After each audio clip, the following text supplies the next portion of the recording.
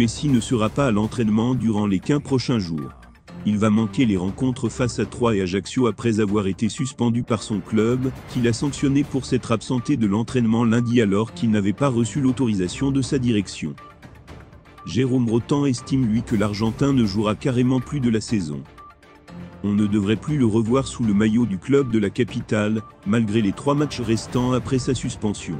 Le consultant affirme même dans son émission sur les ondes de RMC que le PSG voudrait licencier la Pulga on va tout droit vers un licenciement du joueur. Il ne faut pas espérer que le haut Messi passe 15 jours en dehors du club et qu'il revienne la bouche en cœur pour jouer.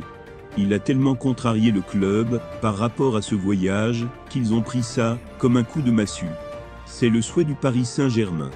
À 99%, on ne reverra plus le haut Messi au PSG, révèle l'ancien milieu de terrain, confirmant au passage qu'il n'était de toute manière pas question de le prolonger. Déjà, il ne voulait pas le renouveler. Sans cette affaire, Messi n'aurait pas été gardé. Recruté cet été par le FC Barcelone pour renforcer son attaque, Rafinha, 26 ans, réalise une saison mitigée. Si le bilan n'est pas mauvais pour l'ailier brésilien, il n'est pas non plus excellent. Faisant partie des gros actifs du club catalan, il pourrait être poussé vers la sortie cet été. Cela tombe bien, Newcastle serait prêt à faire une offre XXL. Un pari intéressant, voilà comment le FC Barcelone pouvait définir le transfert de Rafinha l'été dernier. Sorti d'un exercice solide avec l'Unité, l'ailier brésilien de 26 ans était dans le viseur d'Arsenal et Chelsea, mais avait privilégié le club catalan. Avec les Blaugrana, il y a eu du bon, du moins bon, mais le bilan d'ensemble reste honnête l'ancien Rennais va remporter la Liga et dispose de statistiques intéressantes, avec 10 buts et 11 offrandes en 45 rencontres. Malgré tout, cela reste insuffisant aux yeux du FC Barcelone, dont le manque de liquidité va aussi dicter la ligne de conduite du club sur le mercato. Arrivé contre 58 millions d'euros, il représente un actif important, et cela pourrait amener son départ. C'est là que débarque Newcastle dans le dossier troisième de Premier League, et en bonne voie pour se qualifier en Ligue des Champions, les Magpies sont prêts à faire des efforts pour récompenser le travail des Dio. Les Toons vont renforcer leur effectif et Rafinha est dans leur viseur. Déjà séduit par le profil du Brésilien, quand il était en Premier League, le club du Tinzid entend bien jouer sa carte, jusqu'au bout, pour arracher celui dont le contrat avec les Blaugrana court, jusqu'en juin 2027. La formation anglaise est déjà en train de placer ses pions. En effet, d'après le journaliste Gérard Romero dans son émission Gigante, les contacts sont déjà noués entre Newcastle et le FC Barcelone pour Rafinha. Une première proposition verbale aurait même été déjà reçue par le club catalan. Ainsi, Newcastle serait prêt à offrir environ 80 millions d'euros au FC Barcelone pour s'offrir les services de Rafinha. Un chiffre impressionnant qui viendra dépasser les 70 millions d'euros dépensés l'été dernier pour la venue d'Alexander Isaac.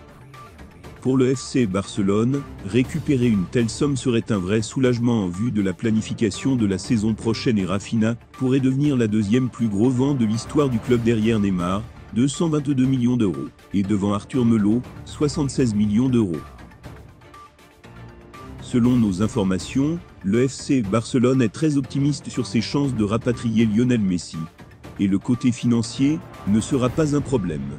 8 août 2021 les larmes coulent sur le visage de Lionel Messi.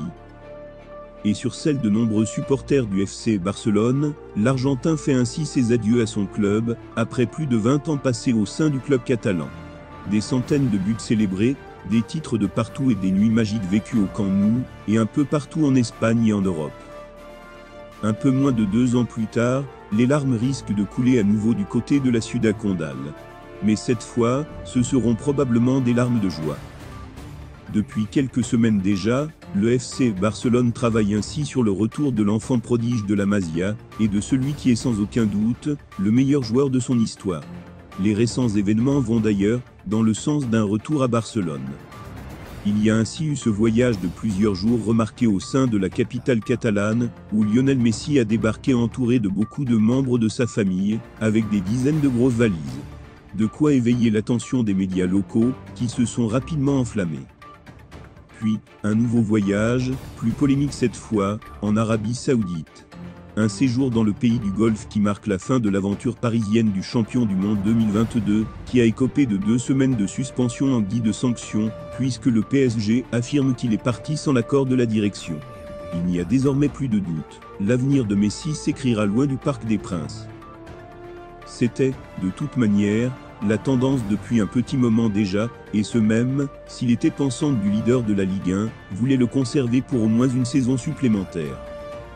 Selon nos informations, le FC Barcelone est particulièrement optimiste quant à ses chances de rapatrier Messi. La direction menée par Jean Laporta est persuadée que l'ancien numéro 10 reviendra à la maison cet été. Une confiance qui peut sembler un peu exagérée de prime abord, puisque le Barça est dans une situation financière difficile. Les médias catalans n'hésitent d'ailleurs pas à marteler que pour pouvoir signer l'Argentin, le Barça doit faire énormément de sacrifices pour se plier aux règles du fair play financier de la Liga. Selon les journaux barcelonais, le championnat espagnol exige même à la Porta que le club baisse ses dépenses annuelles de 200 millions d'euros. Mais selon nos sources, l'argent ne sera pas un problème même si les médias ibériques insistent, et que Javier Teba a même pris la parole publiquement dans ce sens, la situation du club et le fair play financier du championnat espagnol ne seront pas un obstacle pour le retour de celui qui est considéré comme le Goa par tous les supporters du Barça. Jean Laporta et ses collaborateurs ne se font ainsi aucun souci de ce côté-là. Après un divorce assez douloureux, il y a deux ans, tout indique que la belle histoire d'amour entre le natif de Rosario et le club aux 5 Ligues des Champions et aux 26 Ligas va connaître un deuxième épisode.